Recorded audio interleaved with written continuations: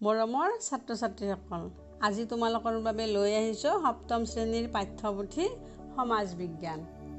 পাঠ নম্বৰ চাৰি আমাৰ পৰিৱেশ। এয়া এই পাঠটোৰ আমি মূল কথাখিনিহে আলোচনা কৰিম।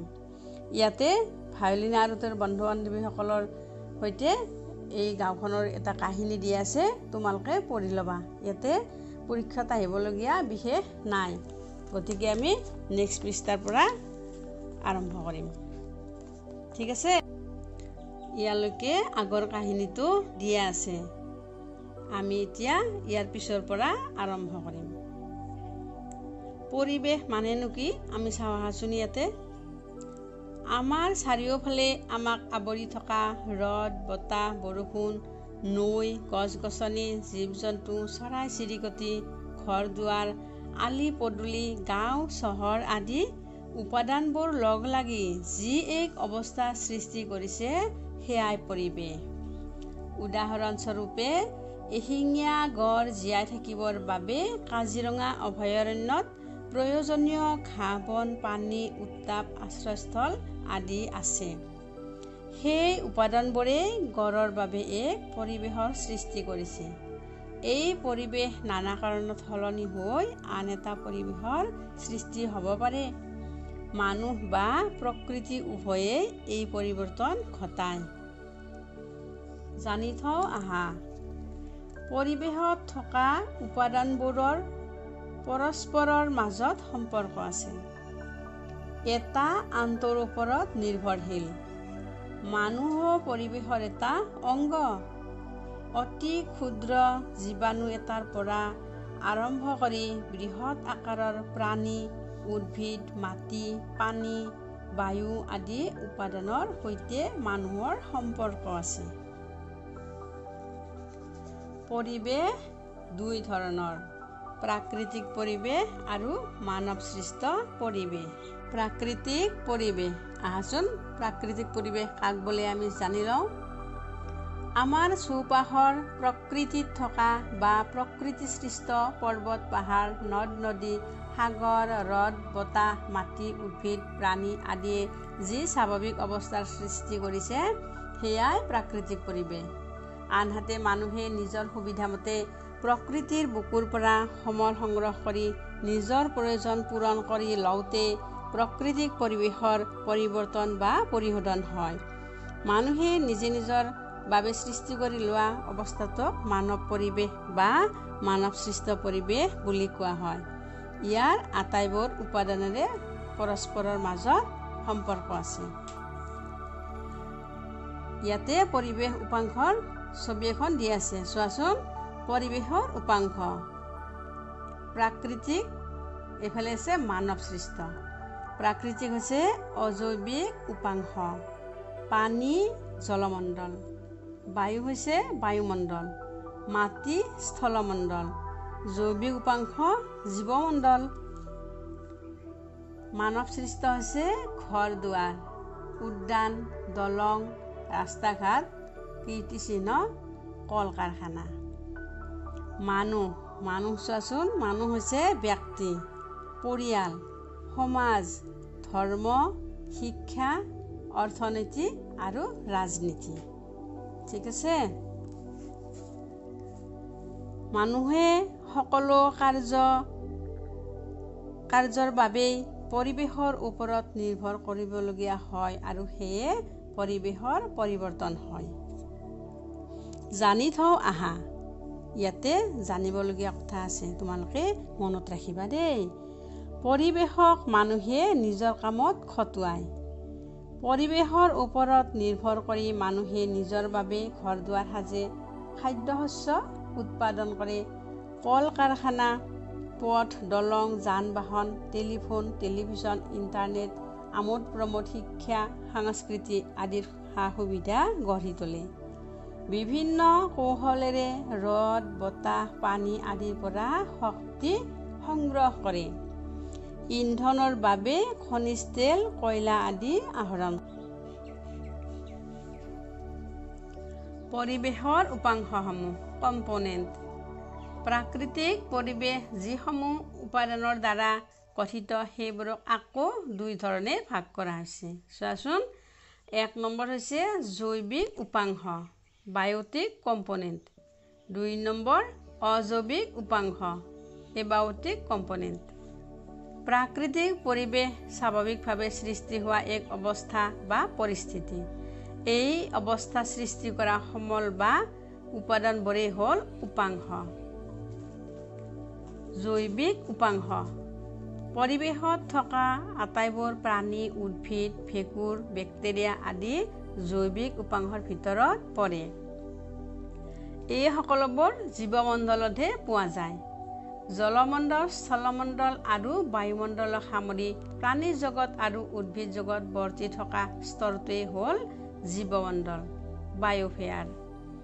ইয়াৰ বিস্তৃতি সাগৰৰ সাগৰতলীৰ কিছু ওপৰৰ পৰা আৰম্ভ কৰি ভূপৃষ্ঠৰ ওপৰৰ বায়ুমণ্ডলৰ এটা সীমালৈ প্ৰায় চৌব্বিছ কিলোমিটাৰ যোৰা এই স্তৰতেই প্ৰকাণ্ড জন্তু উদ্ভিদ অন্যান্য প্ৰাণী ক্ষুদ্ৰাতি ক্ষুদ্ৰ অনুজীৱ বেক্টেৰিয়া আদি সকলোবোৰ থাকে। অৰ্থাৎ জলভাগ স্থলভাগ আৰু বায়ুমণ্ডলত থকা সকলোবোৰ জৈৱিক উপাদানৰ দ্বাৰাই জৈৱিক উপাংশ গঠিত। সুন্দৰ পৰিৱেশ গঢ়ি উঠিবলৈ হ'লে উপাদানসমূহ সৰুৱে হওক বা ডাঙৰেই হওক দুয়োটায়ে লাগতিয়াল। জৈৱিক উপাংশৰ সকলো উপাদানেই এটাৰ ওপৰত আনটো নিৰ্ভৰ কৰি পৰিৱেশত বাচি থাকে। উদাহৰণস্বৰূপে সেউজীয়া উদ্ভিদে সৌৰশক্তি সূৰ্যৰ তাপ পোহৰৰ সহায়ত জীয়াই থাকে। তৃণভোজী প্ৰাণীয়ে ইহঁতক খাদ্য হিচাপে গ্ৰহণ কৰে। সেই প্ৰাণীক মাংসহাৰী প্ৰাণীয়ে খায় যেনে গৰু ছাগলী হৰিণা আদিয়ে ঘাঁহ খায়। বাঘ সিংহ আদিয়ে আকৌ গৰু ছাগলী হৰিণা আদি ভক্ষণ কৰে। উদ্ভিদ তৃণভোজী আৰু মাংসহাৰীৰ মৃত্যু হ'লে জীৱাণুৱে পচাই মাটিত মিলাই দিয়ে।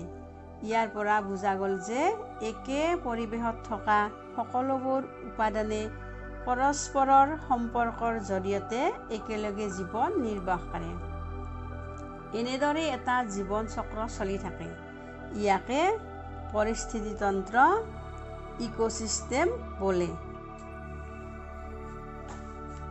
ইয়াতে পৰিস্থিতিতন্ত্ৰৰ এখন ছবি দিয়া আছে। তোমালোকে চাই ল'বা। কোনো এটা নিৰ্দিষ্ট পৰিৱেশত থকা সকলো জীৱই ইয়াৰ লগত থকা কাৰোবাৰ সহায়তহে বাচি থাকে। আনটো এটা নহ'লে আনটো জীয়াই থাকিব নোৱাৰে। এই প্ৰক্ৰিয়াত সেউজীয়া ঘাঁহক উৎপাদক তৃণভোজী প্ৰাণীসমূহক প্ৰথম উপভোক্তা আৰু মাংসহাৰী প্ৰাণীক দ্বিতীয় উপভোক্তা বুলি কোৱা হয়। উৎপাদক আৰু উপভোক্তাৰ মৃত্যু হ'লে যিসমূহ বীজাণুৱে পচন ঘটায় তাক বিয়োজক বোলে। মানুহে উদ্ভিদ আৰু মাংস দুয়োবিধ গ্ৰহণ কৰে বাবে মানুহক সৰ্বভোজী বোলে। অজৈৱিক উপাংশ। বায়ু বায়ুমণ্ডল মাটি স্থলমণ্ডল আৰু পানীয়েই জলমণ্ডল হ'ল পৰিৱেশৰ অজৈৱিক উপাংশ। পৃথিৱীক আৱৰি ৰখা বায়ুৰ পাতল আৱৰণটোৱেই হ'ল বায়ুমণ্ডল। মনত ৰাখিবা দেই এই বায়ুৱেই আমাক সূৰ্যৰ ক্ষতিকাৰক প্ৰখৰ ৰশ্মিৰ পৰা বচায়। প্ৰচণ্ড উত্তাপৰ পৰাও ৰক্ষা কৰে। বায়ুমণ্ডল নহ'লে সূৰ্যৰ ৰশ্মি বাধাহীনভাৱে আমাৰ ওপৰত পৰিলেহেঁতেন। বায়ুমণ্ডলে বতৰ আৰু জলবায়ুৰ পৰিৱৰ্তন ঘটায়। আমাৰ পৰিৱেশত থকা জীৱ জগত বৰ্তি থাকিবলৈ বায়ুমণ্ডল অপৰিহাৰ্য। বায়ুমণ্ডলত থকা oxygen carbon dioxide nitrogen আদি গেছ প্ৰাণী আৰু উদ্ভিদৰ বাবে লাগতিয়াল। ভিন্নতা অনুযায়ী উদ্ভিদ আৰু প্ৰাণীয়ে নিজকে খাপ খুৱাই ল'বলগীয়া হয়। উদাহৰণস্বৰূপে চোৱাচোন মৌচুমী জলবায়ুৰ অন্তৰ্গত হোৱা বাবে অসমত চিৰসেউজীয়া গছৰ অৰণ্য দেখা যায়। দিহিং পাটকাই বৰ্ষাৰণ্য জয়পুৰ সোণাই ৰূপাই সংৰক্ষিত বনাঞ্চল আদি এনেধৰণৰ অৰণ্য। ডাঠ ঘাঁহ বন ওখ ওখ গছ অৰ্কিডৰ কপৌফুল বাবে উপযুক্ত পৰিৱেশ ইয়াত আছে। এইদৰে অৰণ্যবোৰৰ নানা ধৰণৰ জীৱ জন্তুৰৰ বিচৰণ কৰে। জৈৱিক উৎপাদনসমূহৰ ওপৰত বায়ুমণ্ডলৰ প্ৰভাৱ যথেষ্ট। কিন্তু বৰ্তমান বায়ু প্ৰদূষণৰ বাবে পৰিৱেশত কুপ্ৰভাৱ পৰাৰ ফলত জীৱ জগতৰ সংকট নামি আহিছে। পৰ্যবেক্ষণ কৰা এইটো তোমালোকে কৰি চাবাচোন ঘৰত। তোমাৰ ঘৰৰ চৌপাশৰ পৰিৱেশত পোৱা যিকোনো এটি অলাগতিয়াল উদ্ভিদৰ পুলিৰ ওপৰত বতাহ সোমাব নোৱাৰাকৈ পাত্ৰ এটাৰে ঢাকি থৈ কেইদিনমান পিছত চাবাচোন কি হ'ব গছপুলিটো মৰহি যাব। চোৱাচোন বায়ুৰ আমাৰ কিমান প্ৰয়োজন। পৰীক্ষাটো কৰি চাবা। পৃথিৱীৰ উপৰিভাগ আগুৰি থকা টান খোলা বা স্তৰটোৱেই হৈছে স্থলমণ্ডল। এই খোলাটো বিভিন্ন শিল বা মণিকৰ দ্বাৰা গঠিত। ওপৰৰ তৰফটো মাটিৰে আবৃত। মাটিৰ গঠন গুণাগুণ ঢাল আদিৰ ওপৰত নিৰ্ভৰ কৰি মানুহে খেতি বাতি কৰে। সেইদৰে ঘৰ দুৱাৰ সাজি লয় উদাহৰণস্বৰূপে সমতলৰ পলসুৱা ভূমিত ধান মাহ সৰিয়হ আদি বেছি পৰিমাণে হয়। তাৰ বাবে কৃষিজীৱী মানুহৰ বসতিও বেছি। কাৰ্বি পাহাৰৰ উচ্চভূমিৰ ঢালত মানুহে জুম পদ্ধতিৰে খেতি কৰে। তাত বসতিও পাতল পৰিৱেশৰ অজৈৱিক উপাংশৰ ভিতৰত পানী অপৰিহাৰ্য উপাদান। নদ নদী হ্ৰদ সাগৰ ভূগৰ্ভৰ পানী আদি উৎসই হ'ল জলমণ্ডল জীয়াই থাকিবলৈ সকলোকে প্ৰাণীৰ প্ৰয়োজন। জানানে পানী নহ'লে জীৱই জীয়াই থাকিব নোৱাৰে। সেয়েহে অসমৰ প্ৰধান নদী ব্ৰহ্মপুত্ৰ আৰু বৰাক ইয়াৰ উপনৈসমূহ খাল বিল পুখুৰী আদিৰ পানীয়ে এই অঞ্চলৰ উদ্ভিদ আৰু প্ৰাণীক জীয়াই ৰাখিছে।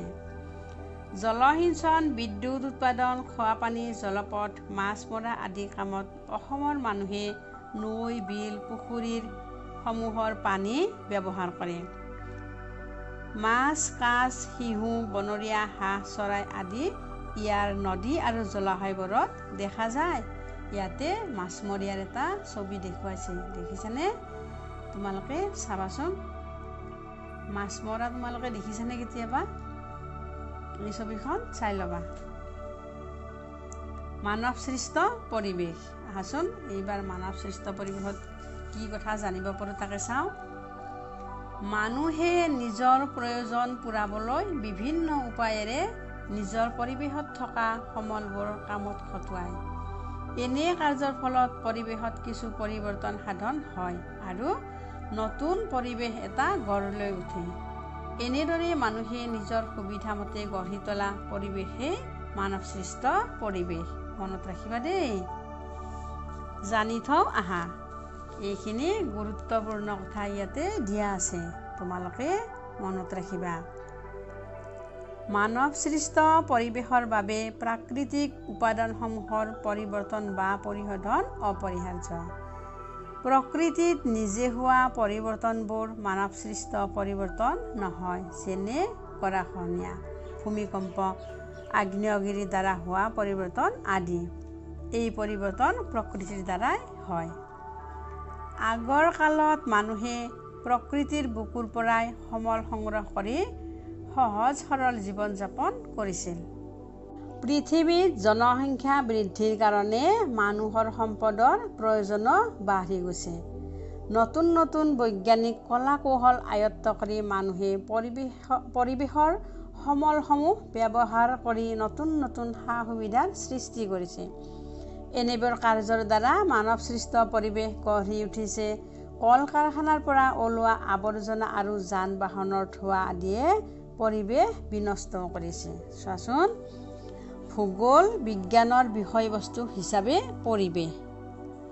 ভূগোল বিজ্ঞানত সৌৰজগত বা বিশ্বব্ৰহ্মাণ্ডৰ কথা অধ্যয়ন কৰাৰ লগতে পৃথিৱীৰ সমগ্ৰ সম্পদ বা উপাদান মানৱ জাতিৰ কল্যাণৰ হকে কেনেদৰে ব্যৱহাৰ কৰা হয় সেই সম্পৰ্কে গুৰুত্ব সহকাৰে অধ্যয়ন কৰে।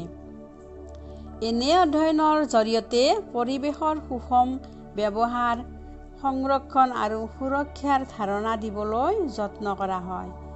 বৰ্তমান পৰিৱেশ প্ৰদূষণ পৃথিৱীৰ উষ্ণতা বৃদ্ধি জনসংখ্যা বৃদ্ধি আদি সমস্যাই মানুহক চিন্তিত কৰিছে।